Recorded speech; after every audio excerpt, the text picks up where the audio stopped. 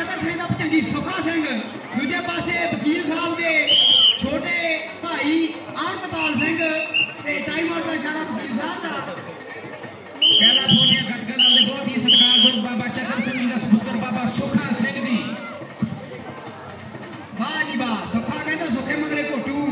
ਅਮਰਪਾਲ ਕਹਿੰਦਾ ਇਦਾਂ ਕੋਈ ਵੀ ਨਹੀਂ ਇੰਜੀਨੀਅਰ ਮੈਂ ਵੀ ਪੂਰਾ ਆ ਇਦਾਂ ਨਹੀਂ ਲਾਂਦਾ ਹਾਂ ਸੁੱਖਾ ਸੂ ਚੜ ਕੇ ਆ ਕੇ ਬਾਰ ਮਾਰਦਾ ਸੀਗਾ ਪਰ ਲੈ ਗਿਆ ਫਾਉਲ ਧਿਆਨ ਨਾਲ ਧਿਆਨ ਨਾਲ ਇੱਕ ਜਥੇਦਾਰ ਸਾਹਿਬਾਨਾਂ ਦਾ ਤਿੰਨ ਫੋਲ ਲੈ ਗਿਆ ਚੰਗੀ। ਸੋ ਹੁਣ ਆਪ ਜੀ ਨੂੰ ਬੇਨਤੀ ਆ ਕਿ ਫੋਲ ਪਲੀਜ਼ ਤੁਸੀਂ ਬੀ ਕੇਅਰਫੁਲ ਰਹੋ। ਵੀ ਅੱਗੇ ਸਰੀਰ ਨੌਜਵਾਨ ਦਾ ਬਹੁਤ ਨਾਜ਼ੁਕ ਆ, ਅਸੀਂ ਨਹੀਂ ਚਾਹੁੰਦੇ ਵੀ ਹੋਰ ਕਦੇ ਇਹਦੇ ਇੰਜਰੀ ਹੋ ਜਵੇ।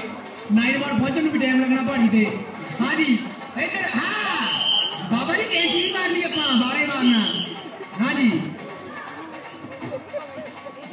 ਬੜੇ ਧਿਆਨ ਨਾਲ ਦੋਏ ਨੌਜਵਾਨ ਤਾਰਦੇ ਹੋਏ ਕਿੱਥੇ ਬਾਲਗ ਨਾਲ ਆਉਣਾ ਖਾਲਸਾ ਜੀ ਜਿਹੜੀ ਸਾਰੀ ਖੇਡ ਹੈ ਗੱਤਕੇ ਦੀ ਇਹ ਅੱਖਾਂ ਵਿੱਚ ਦੀ ਹੁੰਦੀ ਆ ਖਿਡਾਰੀ ਇੱਕ ਦੂਜੀ ਅੱਖਾਂ ਵੱਲ ਪਾ ਕੇ ਦੇਖਦੇ ਆ। ਉੱਥੋਂ ਜੇ ਅੱਖ ਆ, ਉੱਥੋਂ ਅੰਦਾਜ਼ਾ ਲੱਗਦਾ ਵੀ ਖਿਡਾਰੀ ਨੇ ਕਿੱਥੇ ਨੂੰ ਮਾਰ ਲਾਉਣਾ।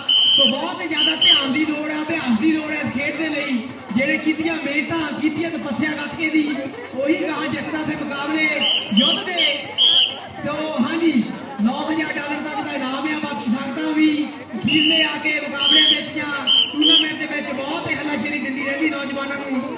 ਸੋ ਜਿਹੜੇ ਵੀ ਪਤੰਗ ਦੇ ਸੱਜਣ ਇਨਾਮ ਦੇਣਾ ਚਾਹੁੰਦੇ ਕਿ ਕਈਆਂ ਨੂੰ ਖੁਸ਼ ਹੋ ਕੇ ਉਹ ਸਾਡੇ ਕੋਲ ਛੇਤੀ ਛੇਤੀ ਸਟੇਜ ਤੇ ਪਹੁੰਚਣ ਤੇ ਆਪਣਾ ਨਾਂ ਤੇ ਜਿੰਨੇ ਉਹਨਾਂ ਨੇ ਡਾਲਰ ਇਹਨਾਂ ਨੌਜਵਾਨ ਨੂੰ ਦੇਣੇ ਆ, ਉਹ ਸਾਨੂੰ ਬਣਾ ਦੇਣ ਤੇ ਸੁੱਖਾ ਸਿੰਘ ਬਾਹ ਦੀ। ਬਾਹ ਮਾਰਦਾ ਛਾਲਾ, ਦਿੰਦਾ ਚੱਕਵੇਂ। ਇੱਥੇ ਬਾਰਮਾਨ ਦੀ ਕੋਸ਼ਿਸ਼, ਪਰ ਬੜੀ ਤਗੜੀ ਤਕਨੀਕ ਹੈ ਉੱਥੇ ਅਮਰਤਪਾਲ ਦੀ, ਜਿਹੜਾ ਬਹੁਤ ਹੀ ਸੋਹਣੇ ਫਾਸਲੇ ਤੇ ਖੇਡ ਰਿਹਾ ਇਸ ਵੇਲੇ। ਕੋਈ ਵੀ ਮੌਕਾ ਨਹੀਂ ਦਿੱਤਾ ਇਹਨੇ ਸੁੱਖੇ ਨੂੰ ਬਾਹਰ ਲਾਉਣ ਦਾ, ਕੋਈ ਸਾਫ਼। ਤੇ ਅਮਰਤਪਾਲ ਚੜ ਕੇ ਬਾਰਮਾਨ ਦੀ ਕੋਸ਼ਿਸ਼, ਪਰ ਬੜੀ ਫੋਟੀ ਵਿੱਚ, ਪੈਂਦਰੇ ਵਿੱਚ ਇਹ ਆਪਣੀ ਖੇਡ ਦਿਖਾ ਰਿਹਾ। ਸੋ ਭਰਮੇ ਬਾਰ